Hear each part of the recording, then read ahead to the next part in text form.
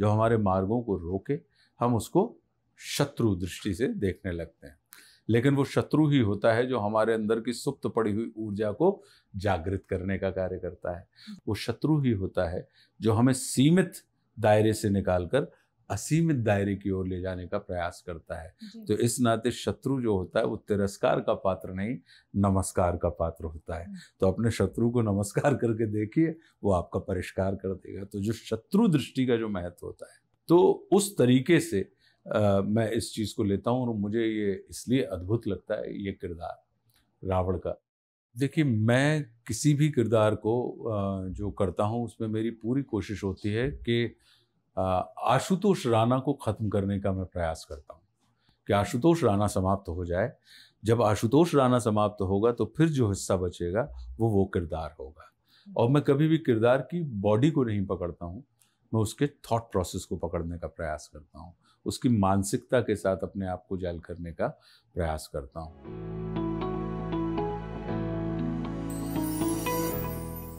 Hello and welcome to Outlook मेरा नाम अपेक्षा प्रियदर्शनी है and today we are joined by one of the finest actors of the Hindi cinema industry who is also an author mister Ashutosh Rana thank you so much sir for joining us today बहुत धन्यवाद अपेक्षा।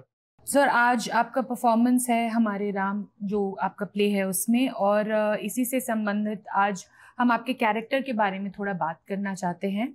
This is in the first time that you are performing Ravan या on stage as well as this character of Ravan आपने voice hmm. uh, भी दिया है एक animated film में इस कैरेक्टर को so can you tell us a little bit about what is it that attracts you to Ravan attraction मेरा राम के प्रति है।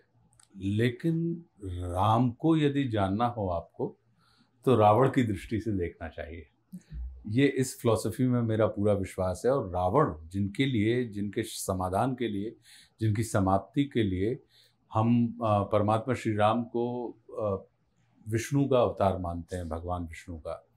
तो अगर वो निराकार की बिरादरी से साकार की बिरादरी में जन्म लेते हैं तो निश्चित रूप से कोई एक इतना योग्य व्यक्ति होगा जो कहीं ना कहीं परमात्मा के सिवा किसी अन्य के द्वारा संतुलित नहीं किया जा सकता होगा। तो मेरी जो रुचि थी उनकी उस किस्म की दिव्यता में थी कि जितनी उनके अंदर विद्वत्ता थी जितना उनके पास ज्ञान था जितनी उनके पास समर्पण थी जितना उनके जितनी उनके पास भक्ति थी या शिव के प्रति जो उनका अगाध प्रेम और संपूर्ण समर्पण था लेकिन इसके बाद भी वह कौन सी चीज़ हुई कि रावण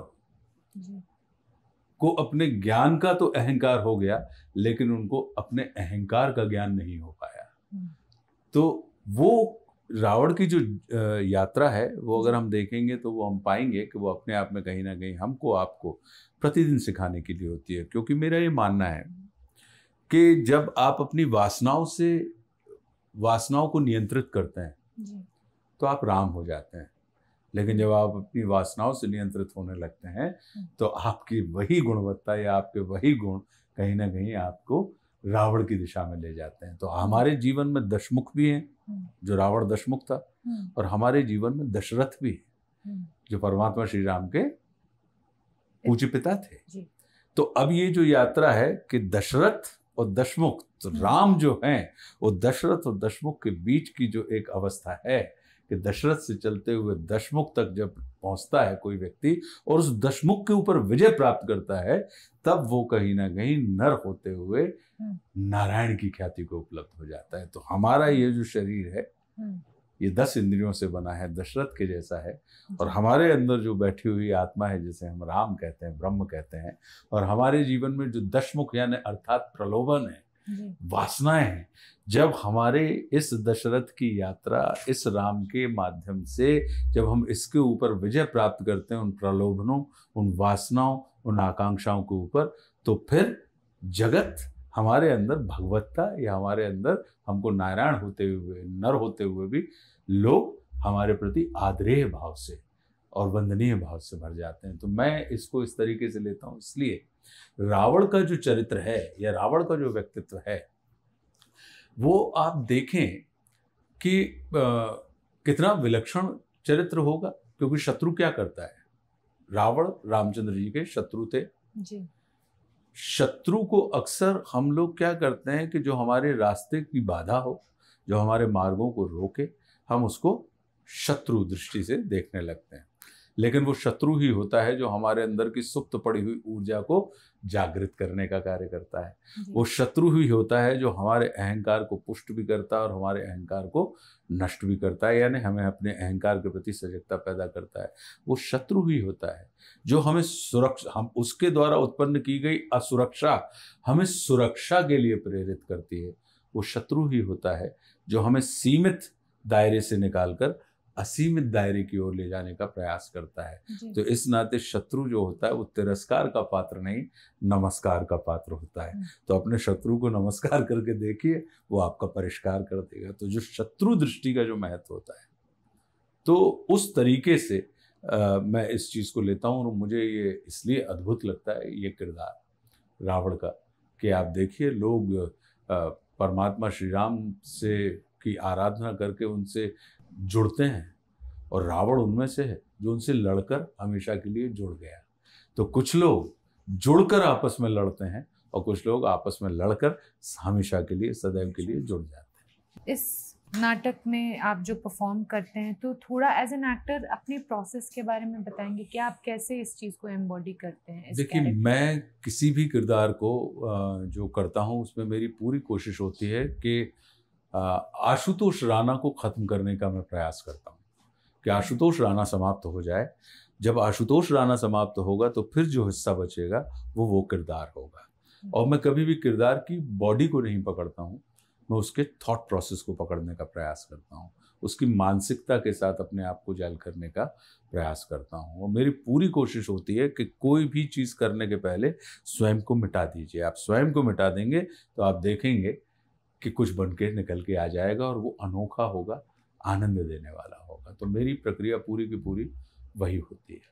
सर आपने एक किताब भी लिखी है राम राज्य और आपने अलग अलग एक नया एक दृष्टिकोण भी दिया है इसको देखने के लिए। तो आप थोड़ा बहुत उस किताब के बारे में भी बताएँगे कि आपने रावण के कैरेक्टर को किस तरीके से इंटरप्रेट किया? रामराज्य जो किताब है वो रामायण पे हमारा दृष्टिकोण है। परमात्मा श्री राम की जो पूरी की पूरी यात्रा है, उसको मैं एक भक्त के नाते, एक व्यक्ति के नाते और एक मनुष्य के नाते उस पूरी यात्रा को मैं कैसे देखता हूँ? क्योंकि मेरा इस बात में अखंड विश्वास है कि राम परम परम ब्रह्म परमात्मा है। बड़ा आदमी कौन होता है? जिससे मिलके आपको बड़ेपन का एहसास हो, उसे आप बड़ा आदमी कहेंगे, लेकिन जिससे मिलके आपको छोटेपन का एहसास हो, वो व्यक्ति बड़े की श्रेणी में नहीं आएगा। तो अगर परमात्मा, परम ब्रह्म परमात्मा, श्री राम के संपर्क में कोई भी व्यक्ति आ रहा है तो उसकी ऊर्जा में निश्चित रूप से रूपांतरण होना चाहिए, और वो वैसा रूपांतरण होना चाहिए कि हो सकता है कि हम उसकी उन परतों को सामान्य मनुष्य होने के कारण ना समझ पा रहे हो। लेकिन परमात्मा राम की उपस्थिति में वो पूरा का पूरा वातावरण कैसे हुआ तो राम राज्य जो हमारी है अब तो वो इंग्लिश में भी आ गई है हम्म। तमिल में भी है तेलुगु में भी है बंगला में भी उसका ट्रांसलेशन हो चुका है हम्म। और हिंदी में तो है ही तो उसमें पूरी की पूरी वो यात्रा है कि राम कह कैकई कि अगर मान लीजिए वनवास हुआ है हम्म। तो ऐसा क्या हुआ कि राम को अपने हृदय से अपनी आत्मा से प्रेम करने वाली कह कैकई अचानक राम के लिए वनवास मांग बैठी और अपने पुत्र भरत के लिए राज्य मांग बैठी। तो क्या कारण रहा? ऐसा क्या कारण रहा?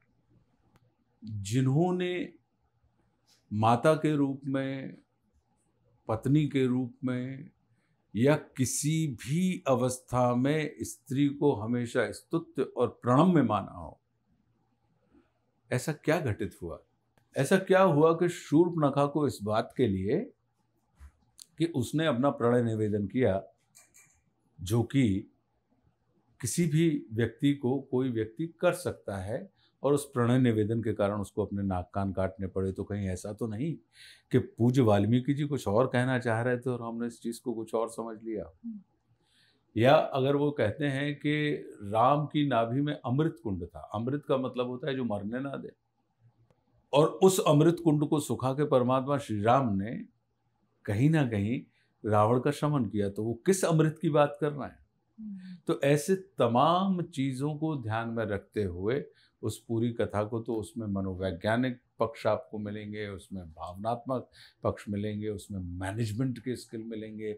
उसमें ये वाली बात कि एक जब राम का किसके साथ उस समय युद्ध हुआ? बोले रावण के साथ। रावण यानी जो उस समय की सबसे हाईली वेल इक्विप्ड आर्मी का किंग है। और वो उस आर्मी का आ, को काउंटर कौन कर रहा है? श्री राम के साथ की बंदर भालुओं की अप्रशिक्षित सेना। तो एक अप्रशिक्षित सेना सुप्रशिक्षित सेना को समाप्त करके उसके ऊपर विजय प्राप्त कर ले तो इसका मतलब है कि लीडरशिप की जो क्वालिटी होती है हम्म। कि कैसे आप अपने आप को लीड करते हैं। राजा और नायक के बीच में क्या अंतर होता है? हम्म। वो तमाम चीज़ों इन तमाम पक्षों को और बिंदुओं को ध्यान में रखते हुए रामराज्य लिखी गई है और सबसे आनंद का विषय ये है कि वो हिंदी की बेस्ट सेलर है और उसको साहित्य अकादमी पुरस्कार भी प्राप्त हुआ है हम्म। तो ये हमारे लिए एक रचनाकार के तौर पे बड़े आनंद का विषय है आपको क्या लगता है कि मतलब थोड़ा आपने इसके बारे में पहले भी बताया पर थोड़ा और अगर आप डिटेल में हमें बताएँ कि क्या राम और रावण के जो कैरेक्टर्स हैं उनको बहुत लोगों की एक टेंडेंसी होती है बाइनरीज में समझने की। क्या आपको लगता है कि ये कैरेक्टर सिर्फ़ बाइनरीज में पढ़े जाने चाहिए या उसके ऊपर उठा जा सकता है? And not just in performance but also जिस तरीके से लिटरेरी रेफरेंसेस में समझा जाता है इन कैरेक्टर्स को। मेरा ये मानना है कि किसी भी कथा की उपयोगिता ही या उसका औचित्य ही तब सिद्ध होता है जब वो हमारी व्यथा का शमन कर सके। कोई भी कथा जो होती है वो आपको एलिवेट करने के लिए की जाती है। एक व्यक्ति के रूप में समाज के रूप में। तो ये मेरा अपना व्यक्तिगत रूप से मानना है कि राम के परमात्मा श्री राम के चरण जितने पूजनीय हैं उतने ही आवश्यक उनके आचरण भी हैं। तो हम उनके चरण तो पकड़ लेते हैं लेकिन उनके आचरण को हम धारण नहीं कर पाते। जबकि वो पूरी की पूरी कथा जो कहती है वो उन्होंने नरावतार में की है तो नर होते हुए जब उन्होंने वो सारी चीज़ें कही हैं तो उसका संकेत वो ये देते हैं कि आप भी नर हैं, मनुष्य जाति के हैं तो आपके भी ये सिलेबस के अंतर्गत चीज़ें आती हैं और आप चाहें आपके अंदर दृढ़ संकल्प शक्ति हो, आपके दिमाग में सफ़ाई हो, आप स्वच्छ हो, आपकी दृष्टि निर्मल हो, आपके जीवन में उद्देश्यों की क्लैरिटी हो तो आप निश्चित रूप से उन समस्त बाधाओं से मैं बिना अपना शरण किए हुए आप अपना तो उत्थान करेंगे लेकिन कहीं ना कहीं समाज के भी कल्याण और उत्थान के कारक होंगे तो मेरा अपना ये मानना है कि इन कथाओं का बहुत महत्व होता है जी। कि ये हमारे अंदर नीति ये हमारे अंदर मूल्य हम्म। हमारे अंदर अब मान लीजिए कि उन्होंने माता कैकई ने वरदान मांगा और वो वन चले गए हम्म। तो ये क्या बात है हम्म। कि अगर हम अपने पिता को दशरथ मान लें हम अपनी माँ को कौशल्या के जैसा महत्व देने लगे हम्म। हम अपने भाइयों के साथ भरत लक्ष्मण शत्रुघ्न जैसा व्यवहार करने लगे हम अपने मित्रों के साथ जैसे राम सुग्रीव के साथ खड़े रहे हैं हम्म। या जैसे सुग्रीव राम के साथ खड़े रहे हैं हम्म। अगर इस तरीके का व्यवहार करने लगे तो हम देखेंगे कि हमारे जीवन में कहीं ना कहीं राम राज्य की सृष्टि हो जाएगी तो इन कथाओं का तो मेरा ये मानना है कि ये सिर्फ़ पढ़ने के ही नहीं है गढ़ने के भी विषय हैं। ये सिर्फ़ विचारणी ही नहीं है हम्म। धारणी भी है। हम्म। अगर हम इनको धारण करेंगे तब निश्चित रूप से कहीं ना कहीं हमारे जीवन में कल्याण आएगा। अन्यथा कथाओं के तौर पे हम पढ़ते जाएँगे और कथा पढ़ने के बाद अगर हमारी व्यथा का निदान नहीं हुआ तो फिर वो कथा की उपयोगिता के ऊपर कालांतर में हम प्रश्न चिन्ह लगा देंगे और लोगों को ये लगेगा कि वो सिर्फ़ कथा थी कल्पना थी उसके अंदर सत्य कहीं नहीं था। जबकि सत्य के सारे के सारे तथ्य इसके अंदर मौजूद हैं तभी कहीं ना कहीं इतने वर्षों से इतने युगों से एक किसी चरित्र की कथा हमारे और आपके जीवन में चलती चली आ रही तो मेरा अपना व्यक्तिगत रूप से मानना है हम्म। कि किसी भी कथा को खास करके जब हमारे अवतारी जैसे रामचरित मानस है या हम्म। रामायण है हम्म। तो ये तो हमें अपने जीवन में सिर्फ़ पठनी ही नहीं है पठन पढ़ने के लिए ही नहीं है ये धारणीय भी कि अगर इनको पढ़ के हम धारण कर सकें और अपने जीवन में उसको उतार सकें तो मुझे लगता है कि हम अधिक कल्याण के मार्ग पर चलेंगे।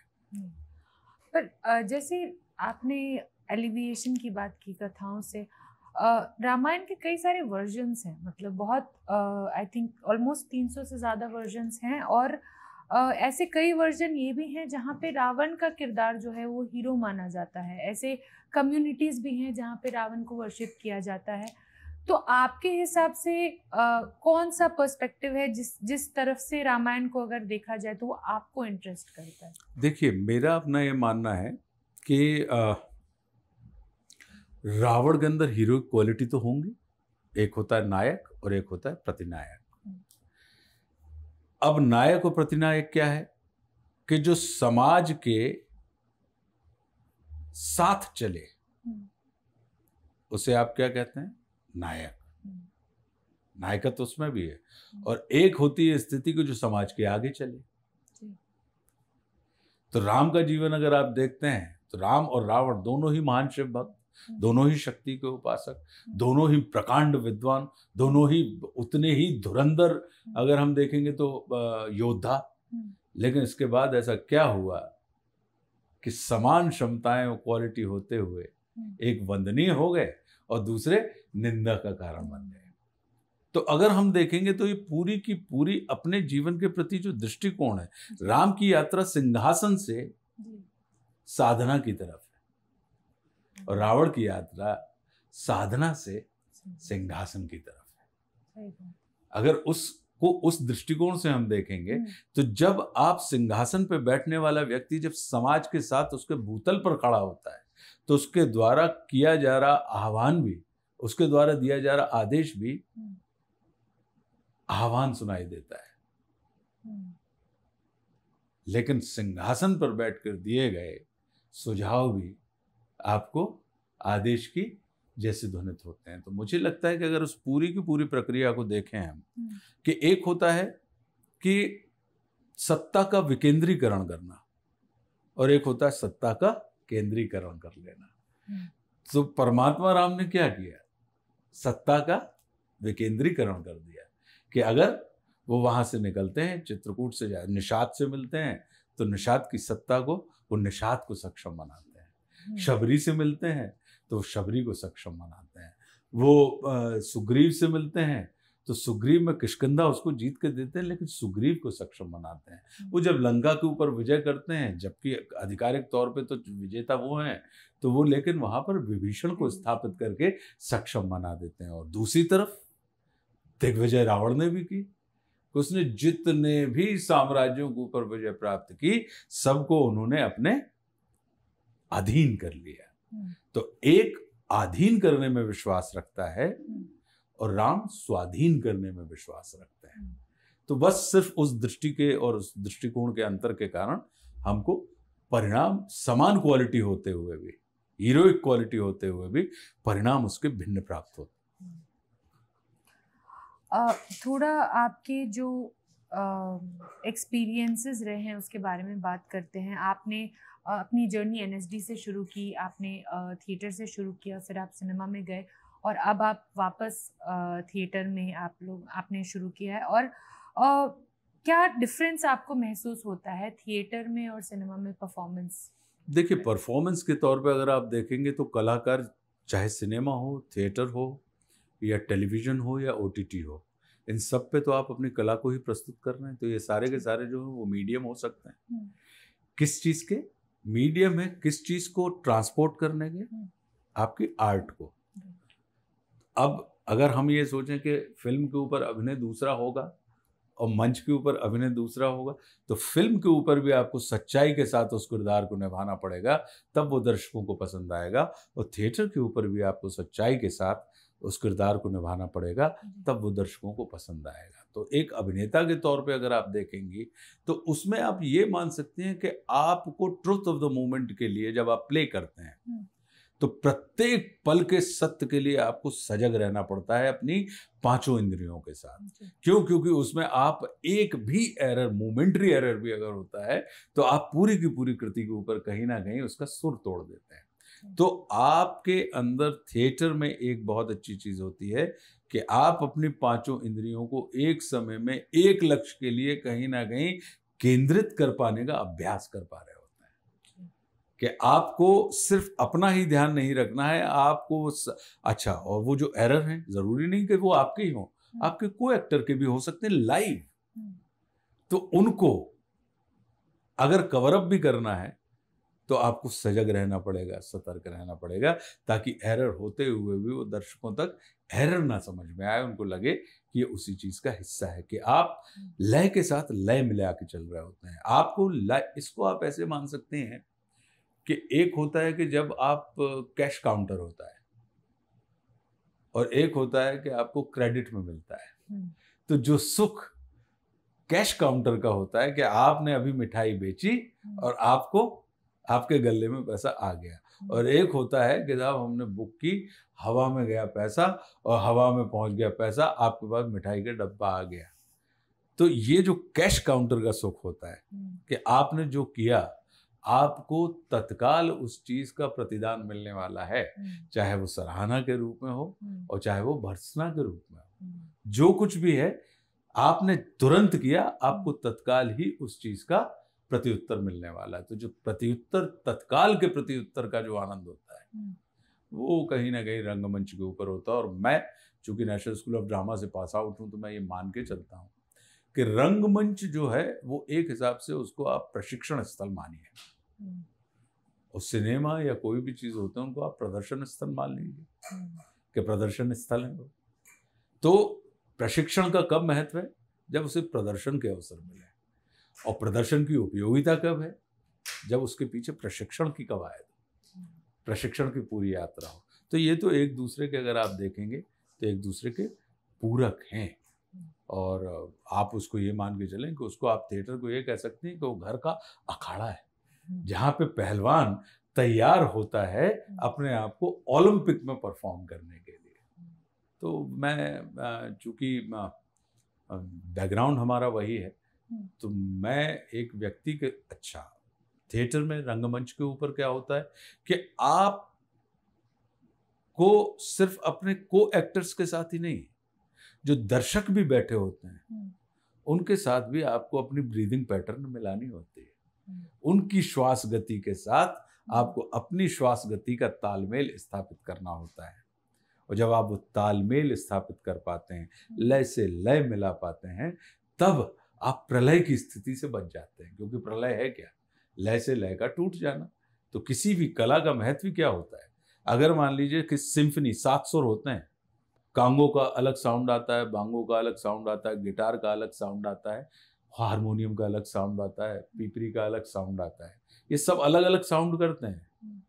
इनके ध्वनिया अलग अलग हैं लेकिन इनके सुर अगर एक ना हो और ये एक सुर में अगर ना बजें सिम्फनी अगर ना हो तो आप देखेंगे कि वो कितने ही बड़े जादूगर आपके इंस्ट्रूमेंट क्यों ना हो।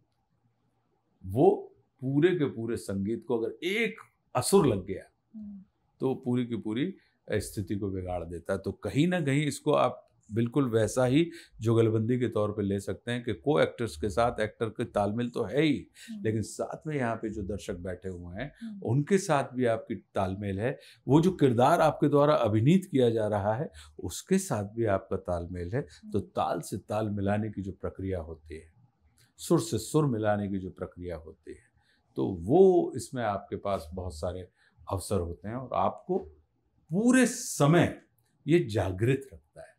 सिनेमा में आपके पास एक स्वतंत्रता ये हो जाती है कि अच्छा शॉट है अभी पंद्रह मिनट का शॉट है आपने दिया उसके बाद आपके पास मी टाइम है। लेकिन थिएटर में कि अगर साढ़े तीन घंटे का प्ले है तो साढ़े तीन घंटे आपके पास कोई मी टाइम नहीं है।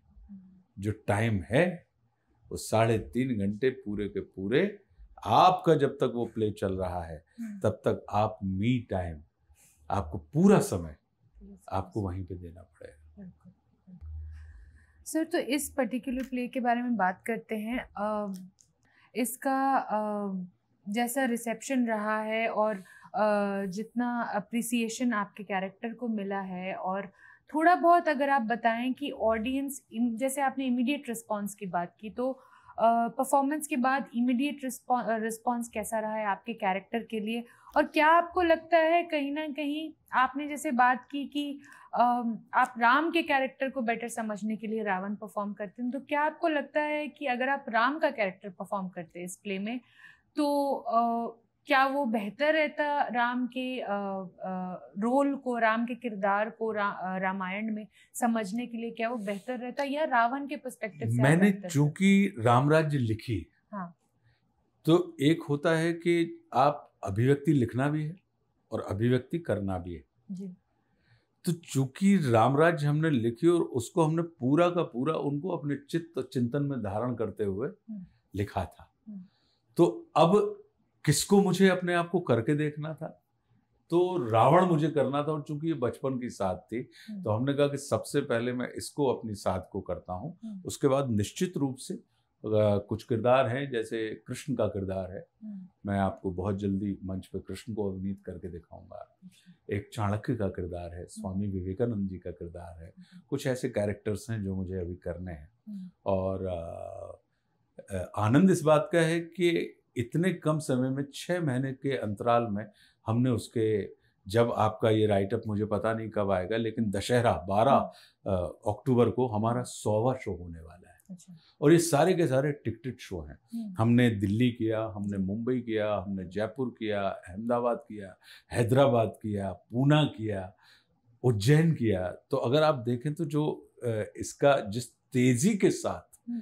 कि छः महीने मैंने इस नाटक के अलावा और कुछ काम किया ही नहीं और सौवा शो हम जो है। और मुझे लगता है कि भारत में किसी भी प्ले के इतनी रफ्तार से इतने ज़्यादा शोज़ हम्म। तो ये अपने आप में एक बहुत बड़ा रिकॉर्ड है। और ये तभी संभव था क्योंकि प्रोडक्शन बहुत बड़ा है बहुत महँगा है।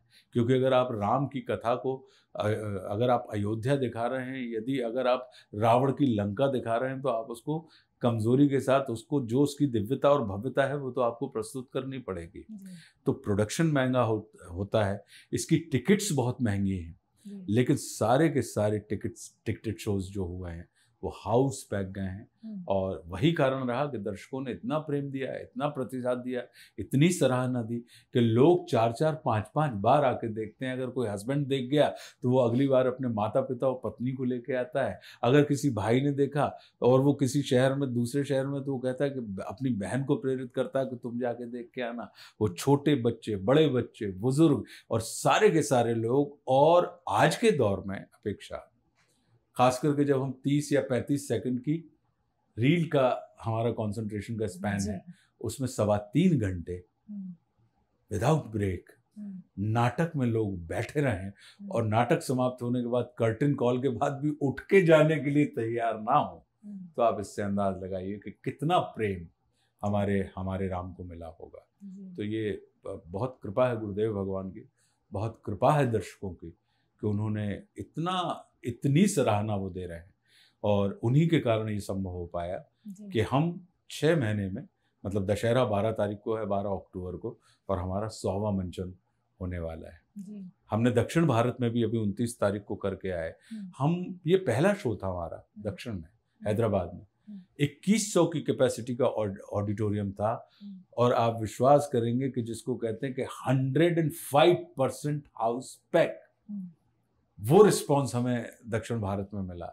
तो अपने आप में हम किसी भी शहर में जब जा रहे हैं तो हम ये देख रहे हैं कि लोग दर्शक बहुत आस्था के साथ, बहुत आत्मीयता के साथ, बहुत आदर के साथ और बड़े प्रेम के साथ इस हमारी मंचन को स्वीकार रहे हैं, सराह रहे हैं और उसको कहीं ना कहीं परिष्कृत कर रहे हैं, उसको प्रशंसा करके हमें प्रेरणा दे रहे हैं।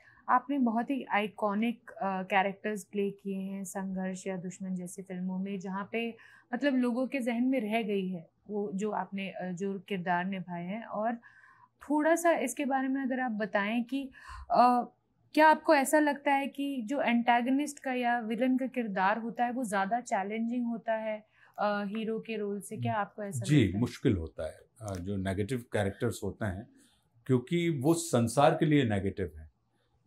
और अगर एक्टर जो भी एक्टर नेगेटिव रोल कर रहा है तो आपके पास दो रास्ते हैं कि आप भी नेगेटिव सोच के कर दीजिए लेकिन चैलेंजिंग तब हो जाता है कि वो संसार के लिए नेगेटिव कैरेक्टर है वो विलेन है हम्म। लेकिन वो जो कैरेक्टर है वो अपने आप को हीरो मान रहा है हम्म।